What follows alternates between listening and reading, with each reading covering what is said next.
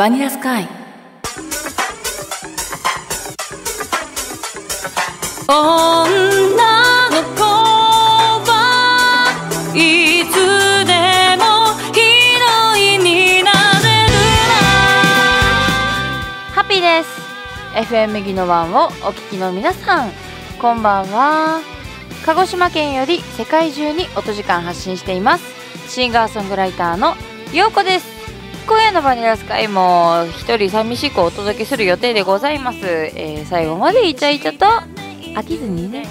ちゃんと相手してねお付き合いくださいませ。よろしくお願いいたします。いよいよいよいよでございますよ皆様。あさって私が愛してやまない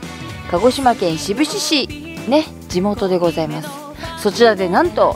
島津楽器というね志布志市志布志町にあります島津楽器さんのキュレオホールにてワンマンライブをさせていただきます。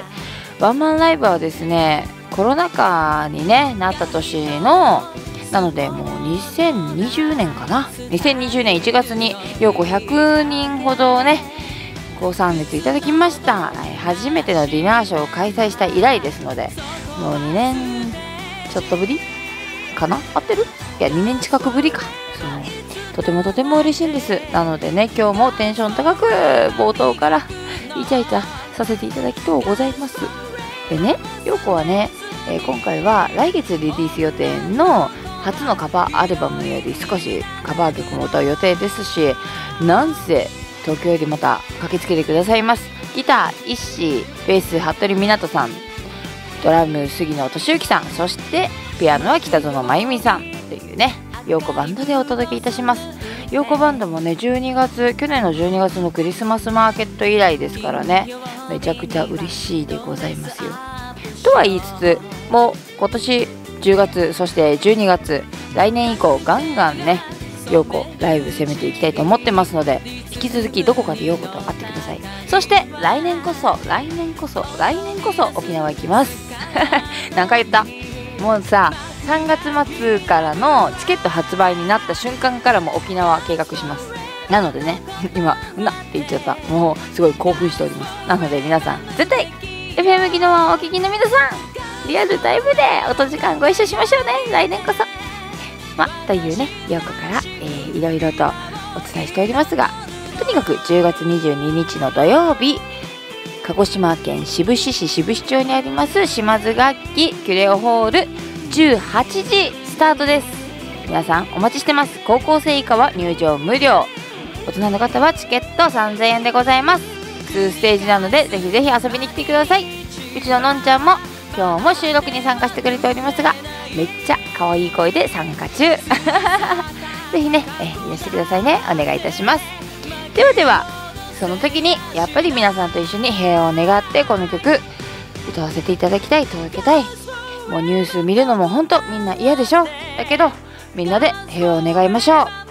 1曲目は陽子で「キスハグ」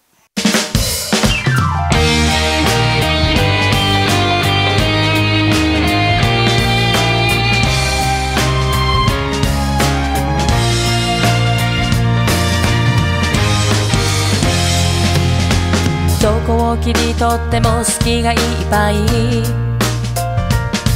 君との毎日を綴る僕のカレンダー些細なことで喧嘩をするよりもニヤニヤしちゃうよこのまま時間が止まればいいのに君を思う涙が溢れてくる。いつの間にか泣き虫な僕たちは強くなるように。抱きしめ合うんだ。この広い空の下に愛を伝えたい君がいる。いつでも心は抱きしめ合って出せる愛。言葉は明日を変えていくために。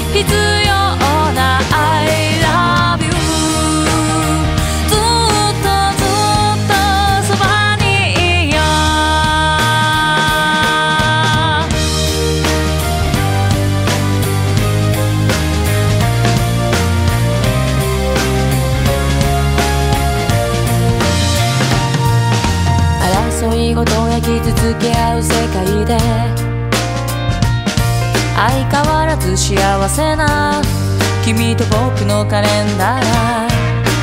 今日もお休みのキスをするときに一緒に祈ろうみんなが幸せでありますように愛し合うことでこんなにも力が生まれるなら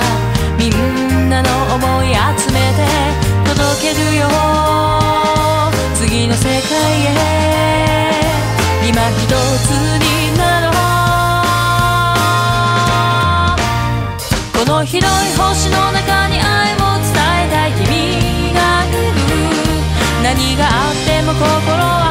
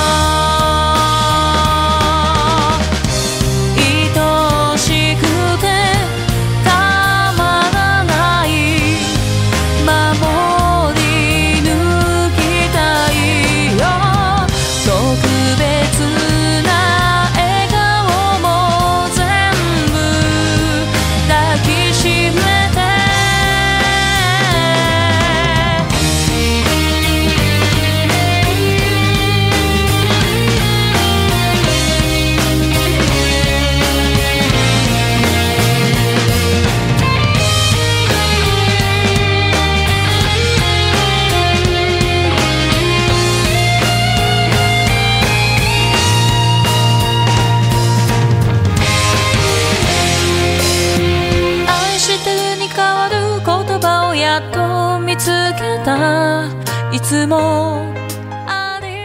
お届けしました曲は「陽子でキスハグ」でした。皆さん、えー最近この言葉感銘受けたなとかあります？こういう姿勢大事だなとか。大人になると学生時代みたいにチームみんなでさ一つの目標とか一つの言葉を掲げて取り組むとか唱えるみたいなことはなかなかないと思うんです。その代わりにねラブソングだったりとか応援ソングを聴いて闘志を燃やしたり愛情を育んだりとかね。まあそういうためにね音楽ってね人生に寄り添うためにあるんじゃないかなとも陽子はまあ自論で思います。まあでも皆さんそうね思われることも多いかと思うんですけれどもね、まあ何が言いたいかと。陽子今イッシーと一緒にね、サウンドプロデューサーの石井が作曲陽子が歌詞を書いて、えー鹿児島からもう世界中に人気のじゃんけんマンという生身のゆるキャラではないんですね。もうヒーローですね。じゃんけんマンの2曲目の曲をね制作しております。ありがたいことにねミュージックビデオもねまあ多分監督みたいな立ち位置でね関わらせていただいております。でそのねじゃんけんマンと一緒に彼の気持ちを代弁しながら代弁しながらね、うん、応援ソングを作っているんですけれども。でそういう時にいろいろ言葉をあの時代背景を調べたりとか私はいつもするんですね。この言葉を使っても大丈夫なのか、えー例えば宗教に偏ってないか。戦争を連想させないか。でこの言葉誰かが言ったってパクリとかではなくてやっぱりあのいろんな方がいらっしゃるからこの言葉好きじゃない好きだとか思い出だとか、まあ、それが許容範囲か。まあ絶対それは調べるようにしています。あと造語。例えばあの自分が使ってる言葉を「えいこれもう広めちゃうために使おうよ」みたいな、まあ、流行語を作るみたいな感じね。それを作る時もやっぱりちゃんと下調べはするようにしていますね。で今の時代はさ全部ネットでさググって。でもしその申請とかが必要な言葉であったとしてももうすぐググれちゃうから楽ちんなんですね。まあ、一昔前だったら大変だったんだろうなと、ね、歌詞を書く時も歌詞の作詞家の先生たちもね、うん、大変だったんだろうなとねちょっと仕事しながら思うんですけれども。でねよくこういろんな方とお話しする時に結構ね皆さん盗まれてますよ。皆さんの思想考え方であったり思いの何て言うのかな育み方も人生に対してで年齢から生まれる言葉であったりとかでね私も結構その日常に付箋紙を貼って生きているんですけれども先日10月22日のイベントの PR 活動で観光 PR 大使を務めさせていただいてます鹿児島県の垂水市に伺ってきました。その時に尾垣市長にねお会いしたんですけれども市長もねあの市長選を控えていらしてょっと今から大変な時期っていうお話ででもね市長はすごいんです。もう大変な時期なはずなのにめちゃくちゃパワフルでした。すごいんだよね。何がすごいかっていうと尾垣市長の選ばれる言葉が、え、プラス思考とかであとポジティブ。そういう次元ではないんです。なんかねうーんほんとね例えたら難しいからぜひ皆さんあの会いに行っていただきたいしで、まあ、演説とかもされると思うんですけどそのうんななんて言ったらいいのかなって。でまあ私はね先日お会いした時に東京ドームコンサート絶対行けるって誰よりも信じてくださってるんです。うん、で私も、うん、したいって思っててで最近あ東京ドームこうってしていったらあの近づくなっていうことをね最短、自分の中の最短経路を見つけたのね。でそれを市長って私こうしたら東京ドーム行ける気がします。公演ひとまずできる気がしますって言ったら「うゆこさんいいですよ」って。いつまでも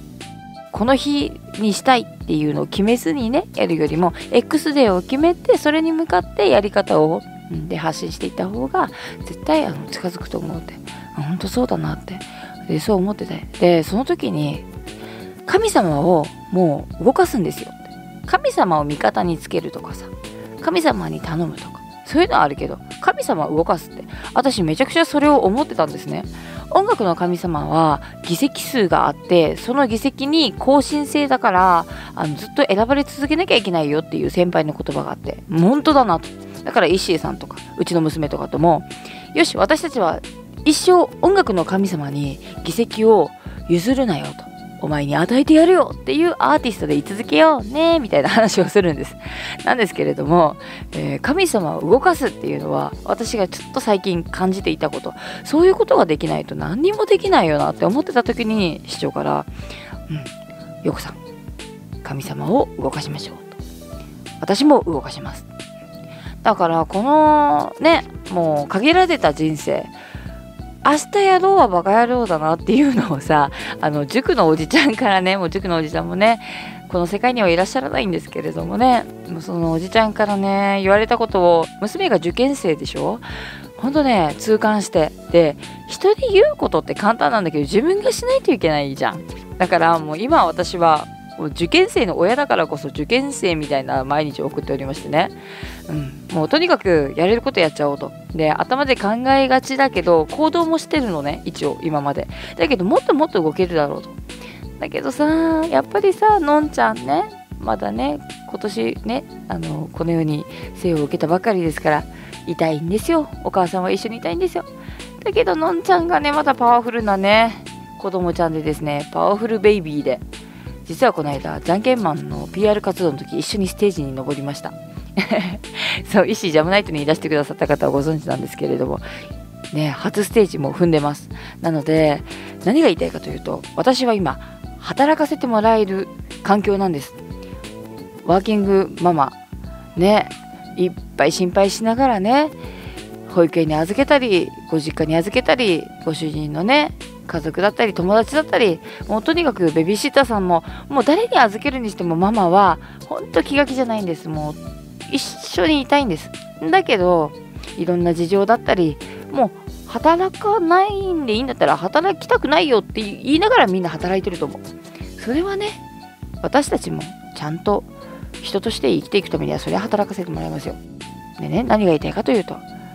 お母さんたちってね少なからずね神様にね選ばれた人生をね歩めてるんですよね。だって子供ちゃんたちが応援してくれてるもんと。でそこに甘えるんじゃなくて一緒にねハッピーに過ごしているからこそまた神様が見てくれて次のステップアップがね毎日日常にあって幸せをいっぱい与えてもらえるわけですよ。で歌い手の陽子としてはとにかく今神様を動かすことに必死なわけです。でねもう母である陽子も歌い手の陽子も自分をねとにかくね35歳まだ働けるだろうと。まだまだ動けるだろうと。そしたら動けば動くほど多くの方々があったかくサポートしてくださって私の大事な人も守ってくれてもうほんとね感謝ばっかりです。まあちょっとねあの熱い気持ちになりすぎましたが、まあ、ということで、えー、今日は初心に帰りたいと思います、えー、2曲目は陽子で「 Unfinished Story」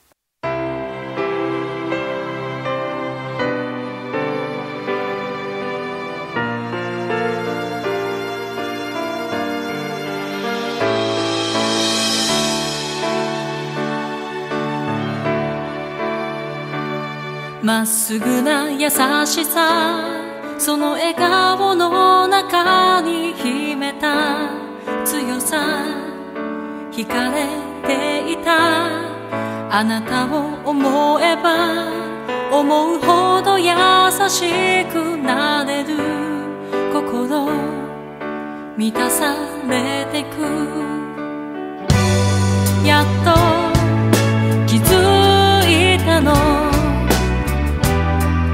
所探し求め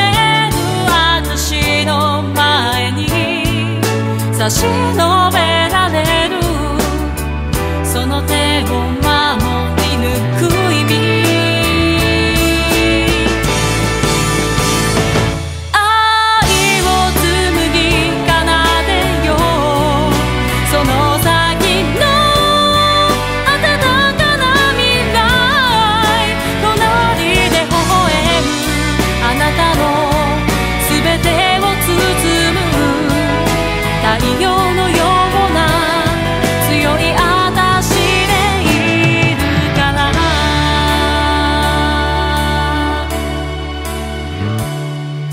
一つの出会いが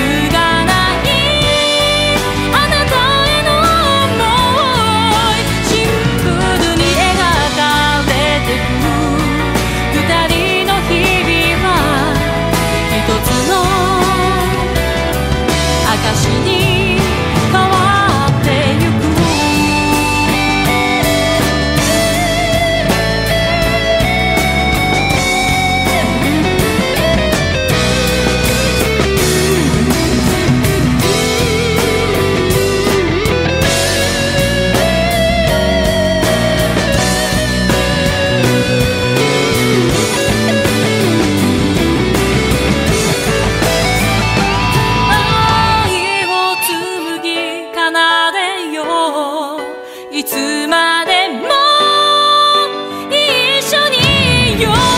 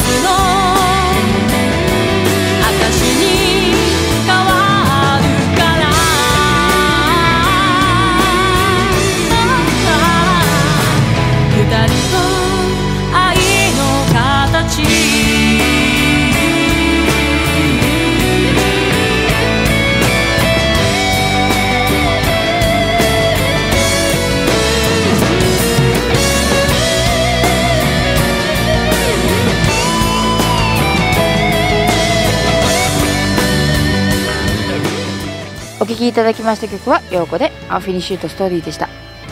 まあ、ちょっとね、あの、いっぱい話は思いが募ってしまってるのでね。もう、うん、あの伝えたいこといっぱいなんですけれども。とにかくとにかく陽子は今ね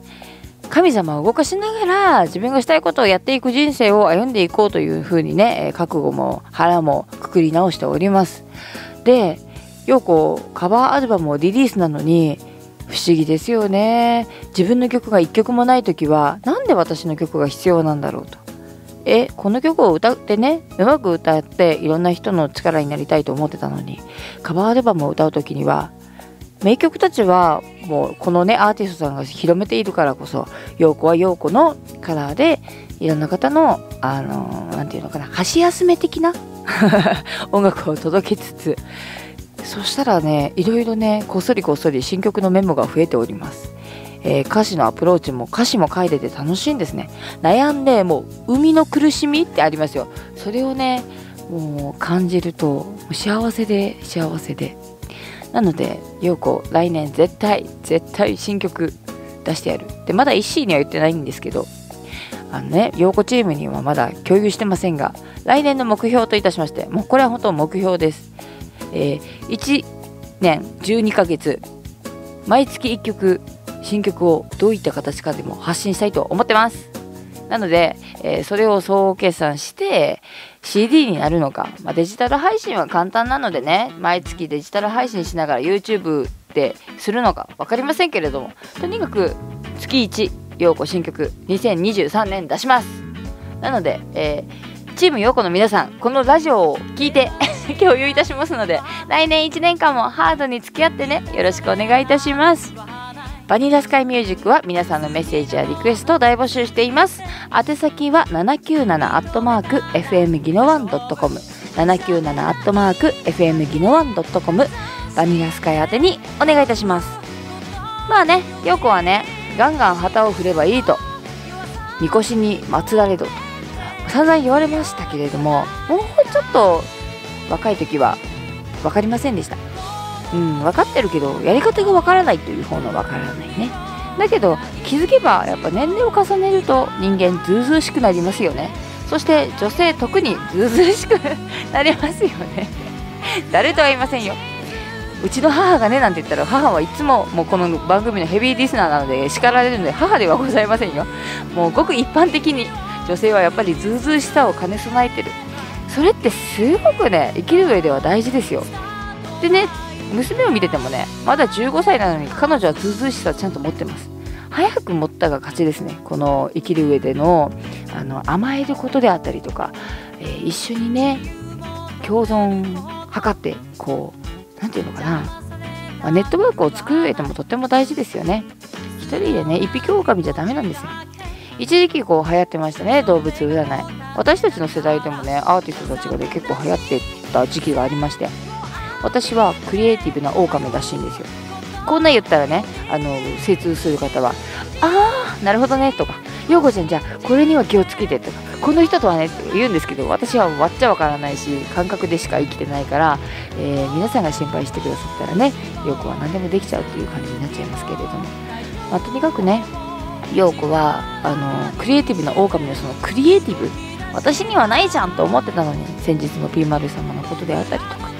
うん、じゃんけんマンのことであったりとか作詞家活動もスタートさせていただいているのは周りの方々のおかげなのでね。ガンガン花を開かせたい。2023年を迎えるために。